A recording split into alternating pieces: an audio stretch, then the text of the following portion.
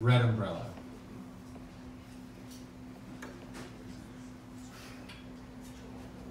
The red umbrella you always carry, it reminds me of my fondest home.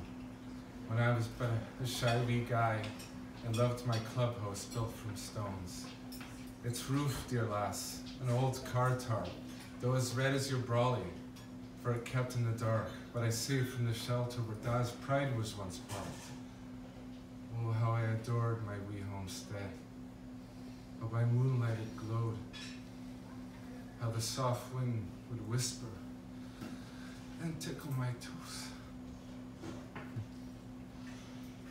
But I still can't recall the day that we left. Just Da's final departure. My sweet mother bereft.